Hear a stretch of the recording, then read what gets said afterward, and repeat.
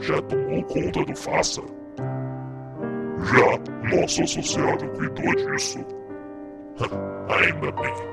Ele não posta vídeos há mais de um ano. Já era hora de ele saber o joguinho que ele estava jogando. Com certeza, a presença dele na internet está oficialmente aniquilada. É, muito bom. Mas se me permite, eu posso saber aonde ele está.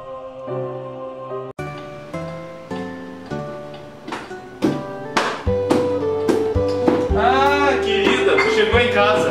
Eu tava recém fazendo a janta. Eu só tava. Não dá mais nenhum passo. Fica parado aí. Eu, eu já arrumo tudo. Pera aí, não dá um passo. Desculpa o estado. É que eu não esperava nenhuma visita hoje. Desculpa eu ter entrado assim. Como vai sua esposa? Ah, ela vai muito bem. Acabou de ganhar uma promoção no trabalho. Então, quem sabe ela não contrata uma faxineira? É, então, não é bem assim. Ela acredita na família tradicional brasileira. E além do que, ela adora os meus bolinhos.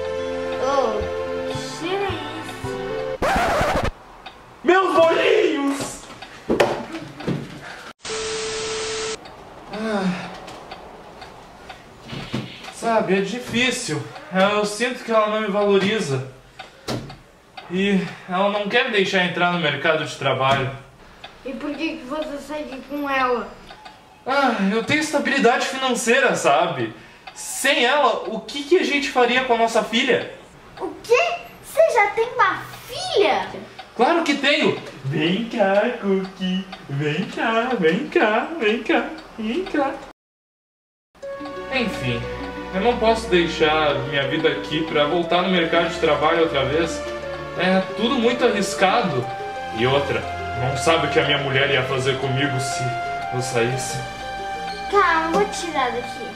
Essa série do YouTube, a recém tava começando a fazer sucesso. Se ela não vê isso, problema dela. Você é um homem livre e empoderado. E sim, é uma vida arriscada. Mas como disse James Cameron, quer que não conseguiu nada sem arriscar.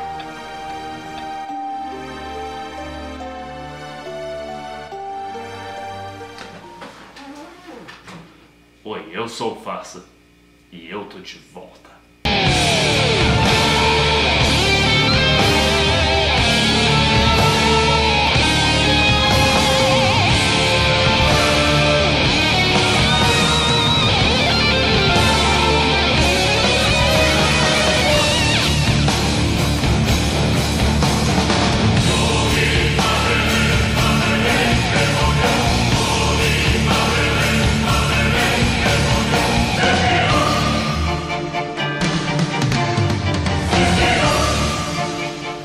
Filmes são projetos de arte. O diretor tenta inserir em um filme toda a sua emoção para criar algo que cative o público. Ele cria situações com que as pessoas se identifiquem e eleve uma reação emotiva, seja ela cômica, dramática ou qualquer meio termo. Ou isso é o que ele deveria fazer? Filmes várias vezes são projetos altamente industrializados e feitos só para ganhar uma audiência rápida. Por anos, as pessoas dizem que faltam visionários novos em Hollywood, mas com o advento da internet, da internacionalidade e de uma nova geração de sonhadores, a ideia de filmes como artes aparenta estar voltando para a mente das pessoas. Mas colocar emoção demais pode resultar em desastre. Esse é o caso de The Room. Lançado em 2013, esse filme independente é dito por muitos ser um dos piores filmes de todos os tempos. Mas por que será? A premissa parece inocente o suficiente e não parece um filme que seja difícil de fazer ruim. Bom, acredite, ele consegue! Então venha comigo e vamos dar uma olhada em The Room. Primeiramente, escutem essa trilha sonora maravilhosa.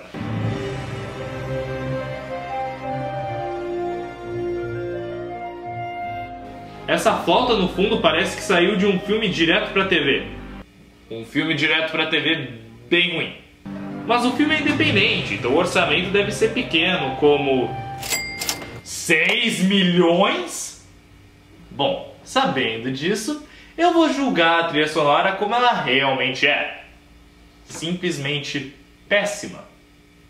Enfim, esse filme aparentemente estrela Tommy Wiseau, que também é o produtor, produtor executivo, roteirista e, adivinhem, diretor. Isso é que é botar pessoal em projeto pessoal.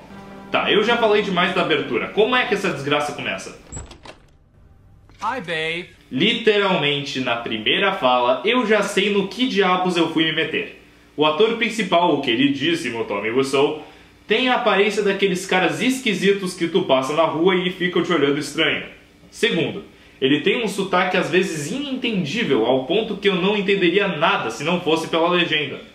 O sotaque dele é tão forte que até quem não fala inglês consegue perceber que alguma coisa está errada. Enfim, esse cidadão totalmente americano, de sotaque incompreensível e irreconhecível e aparência assustadora, é Johnny, que acaba de chegar em casa para entregar um vestido para sua noiva, Lisa.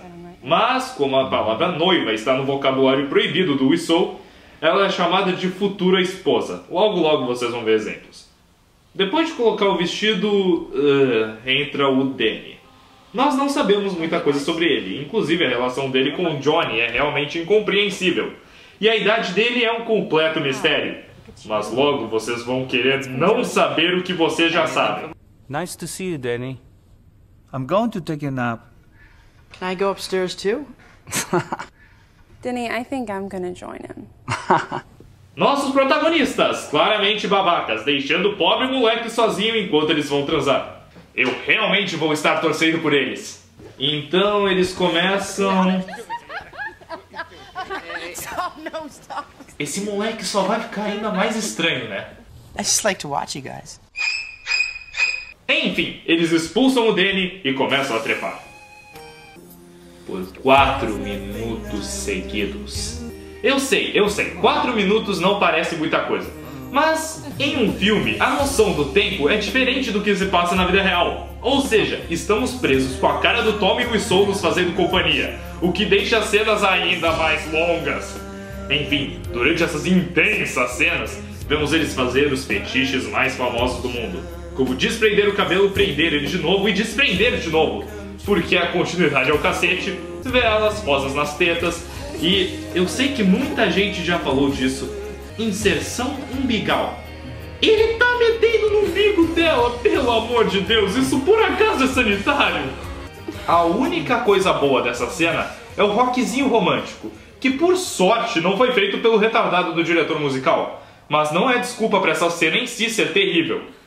E depois de terminar, a gente acha que está salvo. Mas não, o mestre do mistério, Tommy Wiseau, tem mais um truque na manga.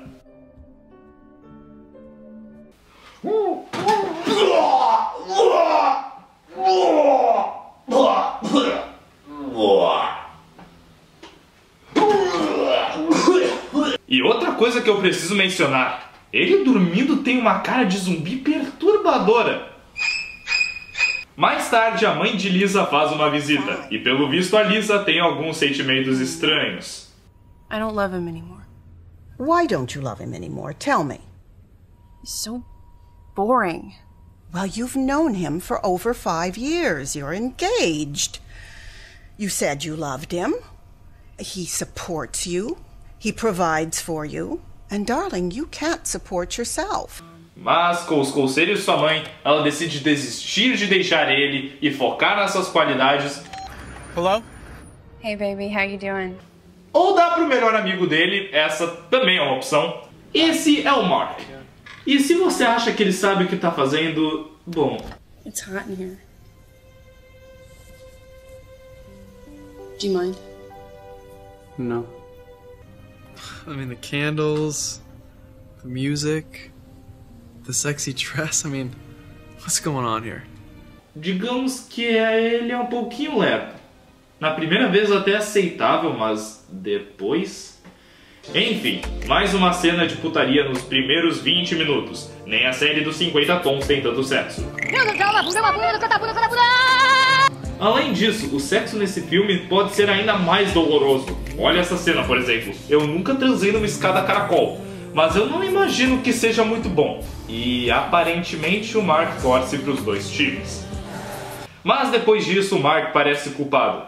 Esperamos que ele não faça mais isso, admita o erro pro Johnny ou. Hey, this will be our secret.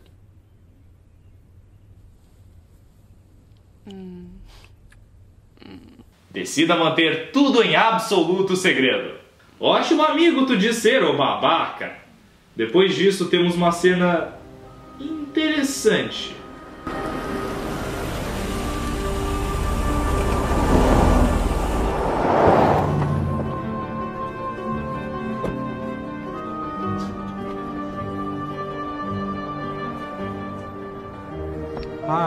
Can I help you?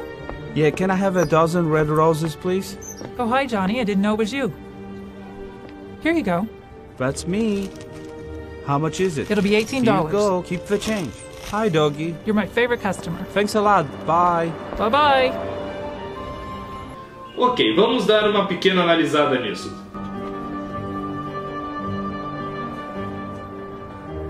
Hi. Can I help you?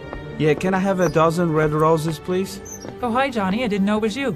Como que você não reconheceu o questionável americano que parece um vampiro alto e pálido e vestido de forma estranha? Here you go. That's me. É, um pouco tarde pra falar que é você, amigo.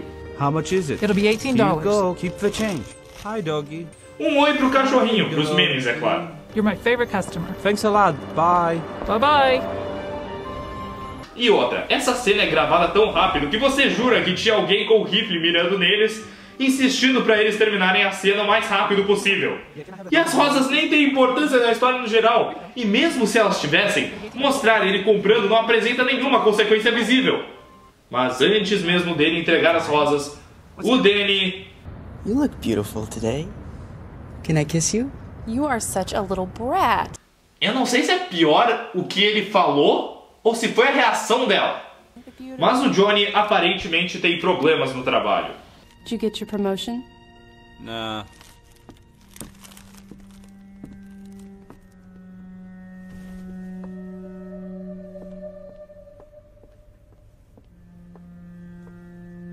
You didn't get it, did you?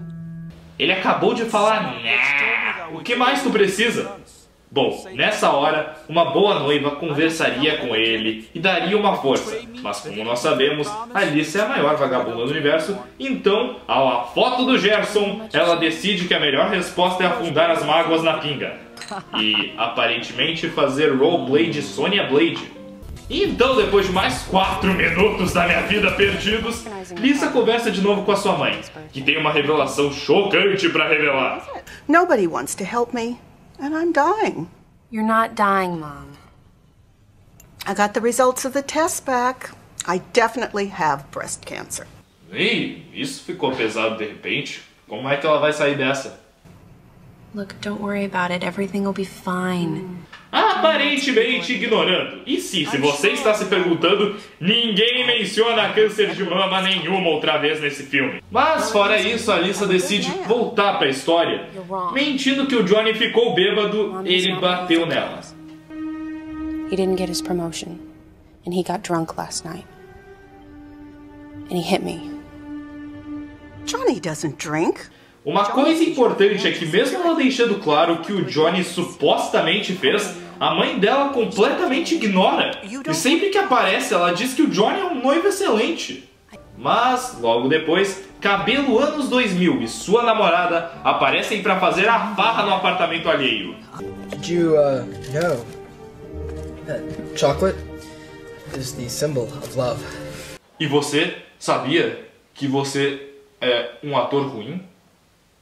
Depois dele ter o melhor boquete da vida dele. Lisa e sua mãe descobrem os dois. Hello? what are these characters doing here? Se você falar mais, eu deixo você fazer a crítica desse filme pra mim. E sim, esse acontecimento nunca mais reaparece no filme. Vocês vão ver, isso é quase que uma piada recorrente. I told you, Mom, Johnny is very caring about the people in his life. Ele é uma pessoa tão incrível e por isso que eu odeio ele. Mas mais situações inusitadas estão prestes a acontecer. Where's my money? Okay, just just give me five minutes. Just give me five. Five minutes? You want five fucking minutes, eh? You know what? I haven't got five fucking minutes!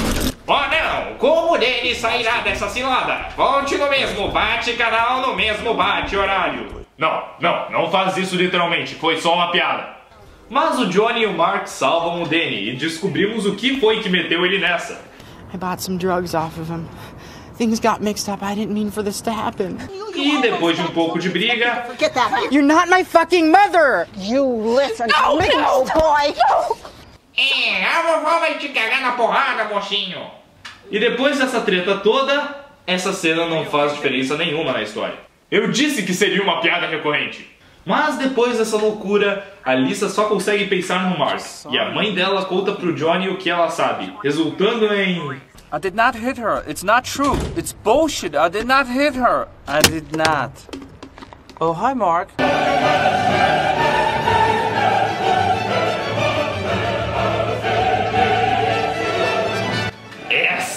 É a melhor leitura de fala do universo. Nada saiu certo. Absolutamente tudo que ele disse saiu errado. Mas ele disse de uma maneira tão errada que saiu perfeitamente. I used to know a girl. She had a dozen guys. One of them found out about it, beat her up so bad she ended up in a hospital on Guerrero Street. What a story, Mark. Isso não é engraçado, seu doente. Depois dessa bizarra conversa, o Danny decide revelar uma coisa bem bizarra. It's about Lisa. Go on. She's beautiful. She looks great in a red dress. I think I'm in love with her. Go on. Ah, eu adoro ouvir como você acha minha mulher gostosa. Mas Johnny tem sábias palavras pro jovem órfão. Danny, don't worry about that. Lisa loves you too, as a person, as a human being, as a friend. You know, people don't have to say it. They can feel it. If a lot of people love each other, the world would be a better place to live. E estamos de volta a mais uma cena que não leva nada. Já são umas quatro, se eu não me engano. Põe o contador aqui. Enquanto a Lisa fala com uma amiga sobre abertamente trair o Johnny, o Johnny decide ter uma conversa séria com ela. How dare you talk to me like that? You should tell me everything. I can't talk right now. Why, Lisa? Why, Lisa? Please talk to me, please. You're part of my life. You are everything. I could not go on without you, Lisa. You're scaring me. You are lying. I never hit you.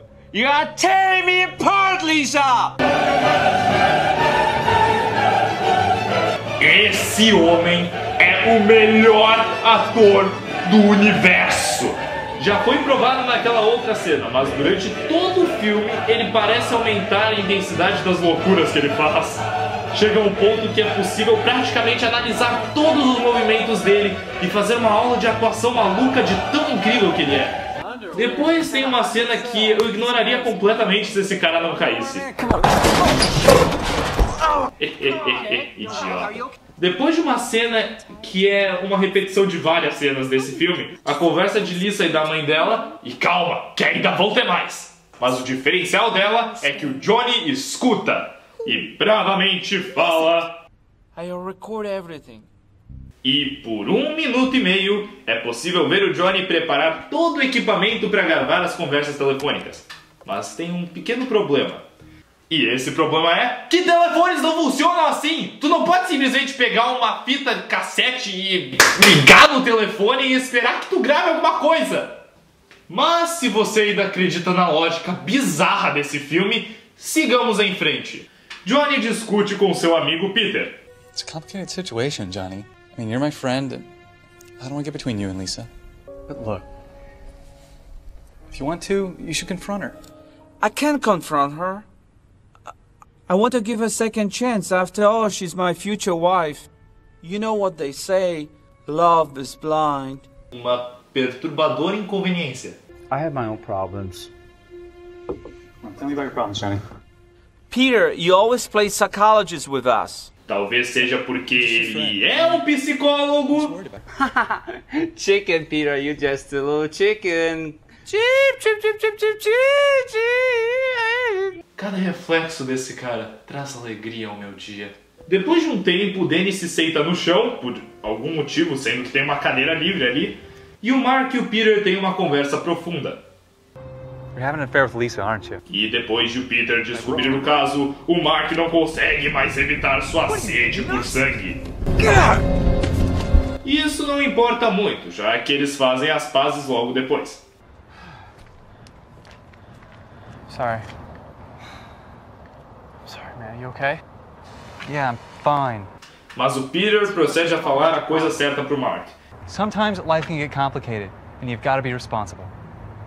So you don't see Lisa again, and you definitely don't sleep with her again. Just find yourself another girl. She's a sociopath. She only cares about herself. She can't love anyone. Ainda assim, temos mais uma cena que não leva a nada. Mais uma pra lista. E seguida por outra que também não leva a nada, em que eles jogam futebol americano de smoking. O Johnny felizmente convence todo mundo a fazer a imitação do franguinho. Come on. E o Peter cai e é só isso mesmo. Gee, Peter, you're clumsy. Johnny e Mark saem pro café e. How was work today? Oh, pretty good. We got a new client at the bank. We'll make a lot of money. What client? I cannot tell you, it's confidential. Anyway, how is your sex life? Quê? Como que tu pergunta uma coisa assim do nada? E aparentemente ninguém se importa muito porque essa cena não leva a nada.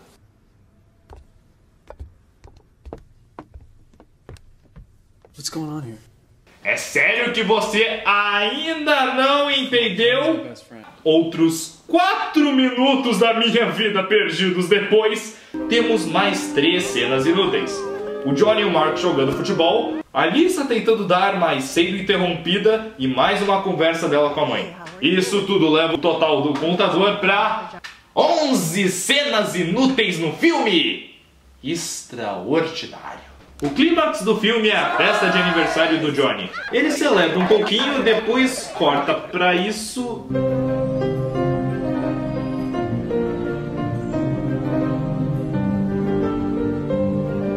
E de novo corta pra festa. Esse corte até parece a tela de carregar do filme. E combate sinal dá até pra dizer que o filme é do Batman. O que não é uma má ideia. Why so serious?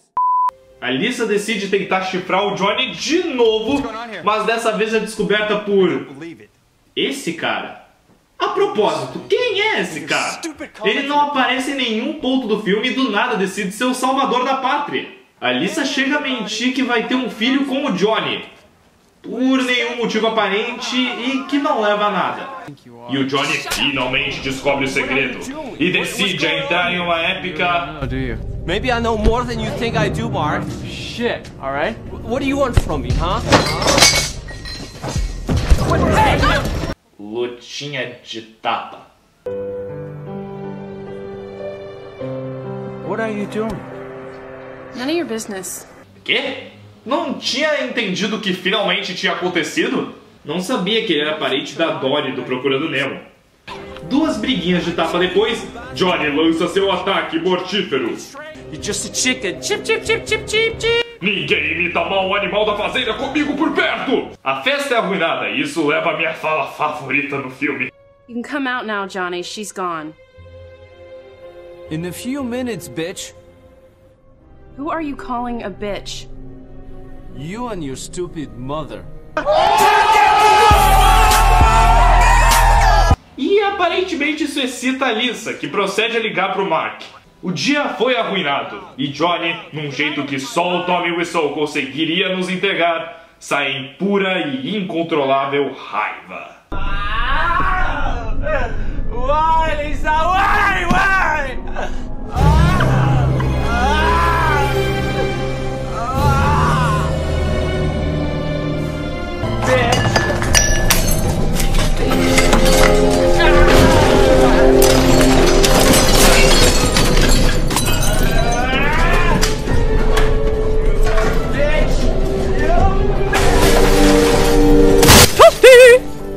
E depois de trepar com um vestido, relaxa, tá quase no fim. O Johnny não consegue aguentar mais esse filme absurdo e decide terminar com tudo. Com um slow-mo de qualidade.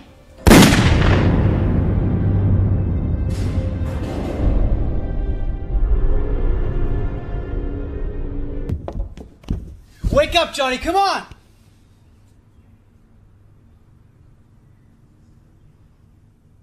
Is he dead?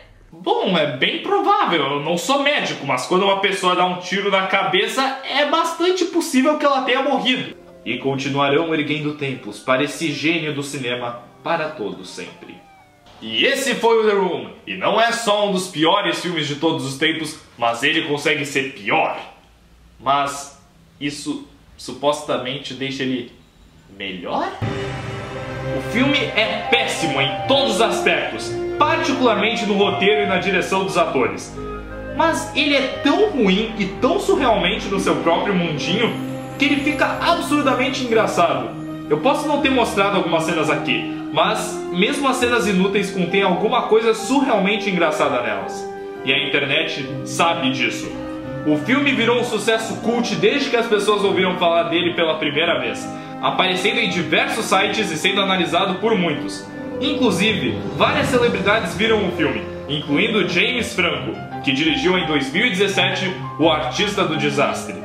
Um filme baseado num livro do ator que fez o Mark, o Greg Sestero, que é sobre a criação do The Room. O filme realmente é excelente e foi nomeado para melhor roteiro adaptado no Oscar e melhor filme de comédia no Globo de Ouro. E o James Franco, que interpreta o Wiseau no filme, ganhou melhor ator. Teve até uma participação especial do Tommy Wiseau em pessoa. Aliás, o Tommy Wiseau virou uma celebridade própria, fazendo tour pelo mundo promovendo o filme. O Tommy Wiseau tem até uma linha de cuecas. E não, eu não tô zoando, isso é 100% real. E eu realmente quero uma delas. O link para a loja do Wiseau com vários acessórios do The Room está na descrição. E sobre o filme, ele pode ter dado espetacularmente errado, mas ele mostra como algo que deu errado pode virar algo que deu certo. Eu sou Faça, e se alguém me conseguir uma cueca do Tommy Wiseau, eu vou ficar muito agradecido. Por favor, me mandem, sério mesmo, me mandem.